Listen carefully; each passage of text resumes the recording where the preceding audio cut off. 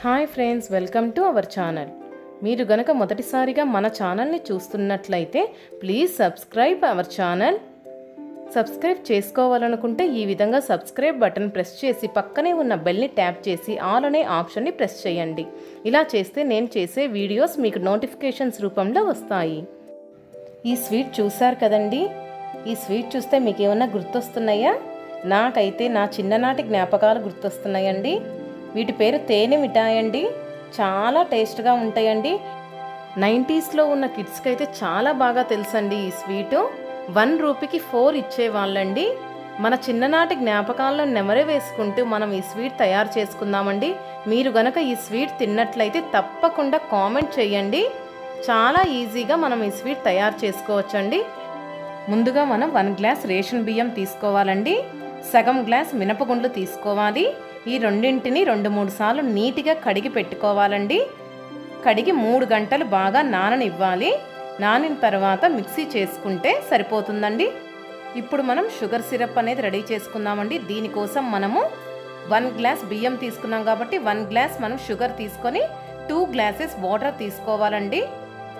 Water తీసుకొని ఈ విధంగా బాగా ఐదు నిమిషాలు బాగా మరిగించాలండి. ఈ విధంగా మనం గులాబ్ జామ్ చేసేటప్పుడు గులాబ్ జాముకు కూడా ఎటువంటి పాకం అవసరం ఉండదు కదండి. అదేవిధంగా దీనికి కూడా ఎటువంటి పాకం అవసరం లేకుండా మనకి స్టిక్కీగా వస్తే సరిపోతుందండి. చూసారు కదా ఈ విధంగా స్టిక్కీగా వచ్చినప్పుడు స్టవ్ కింద ఫ్లేమ్ అనేది ఆఫ్ చేసుకోవాలండి. మూడు గంటలు నానిన తర్వాత మనం ఇప్పుడు ఈ బియ్యము మినపగుండ్లని మిక్సీ చేసుకోవాలండి. ఈ విధంగా తీసుకొని మనము వాటర్ అనేది ఎక్కువ యాడ్ చేయకూడదండి. చాలా తక్కువగా మనం వాటర్ యాడ్ చేసి ఈ విధంగా మిక్సీ చేసుకోవాలండి. మనం మిక్సీ చేసుకునేటప్పుడు కంపల్సరీగా ఈ విధంగా సాఫ్ట్గా వచ్చే వరకు మనం మిక్సీ చేసుకోవాలండి. మనకి ఈ పిండి అనేది క్రీమీ స్ట్రెచ్చర్లోకి కంపల్సరీగా ఉండాలండి. ఈ విధంగా మనము క్రీమీ స్ట్రెచ్చర్ వచ్చే వరకు మిక్సీ చేసుకొని ఒక బౌల్లోకి ట్రాన్స్ఫర్ చేసుకోవాలండి.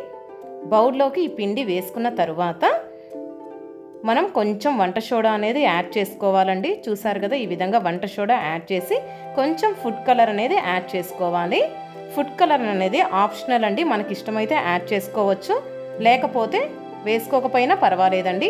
కాకపోతే మనకి బయట షాప్స్లో దొరికేలాగైతే కంపల్సరీగా యాడ్ చేసుకుంటే మనకి లుక్ అనేది బాగుండిద్దండి.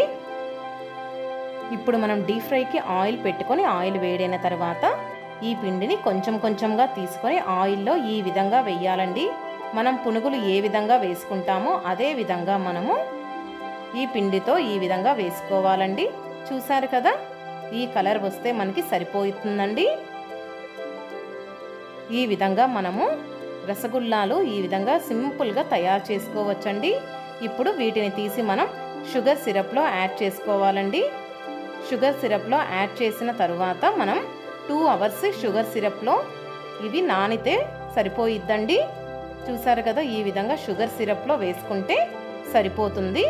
మనం దోశ పిండితో కూడా మనము ఈ రసగుల్లాలు తయారు చేసుకోవచ్చండి. కాకపోతే మనం మిక్సీ చేసిన వెంటనే మనం ఈ రసగుల్లా అనేది తయారు చేసుకోవాలి. చూసారు కదా ఈ విధంగా రసగుల్లా బాగా షుగర్ సిరప్లో నానిన తర్వాత షుగర్లో ఈ విధంగా డిప్ చేయాలండి. చూసారు కదా? ఈ విధంగా షుగర్ సిరప్లో రోల్ చేసుకుంటే మొత్తము మనకి జ్యూసీగా ఉండే రసగుల్లా అనేది తయారవుతుందండి. ఈ విధంగా అన్ని రసగుల్లాలని షుగర్లో డిప్ చేసి మనము ఒక ఫైవ్ మినిట్స్ అనేది ఆరితే సరిపోయిద్ది. ఇవి చాలా టేస్ట్గా ఉంటాయండి. మీరు కూడా ఒక్కసారి తప్పకుండా ట్రై చేయండి చాలా చాలా టేస్ట్గా ఉంటాయండి. మీకు గనక ఈ వీడియో నచ్చినట్లయితే లైక్ చేయటం మాత్రం మర్చిపోవద్దండి. Please subscribe my channel.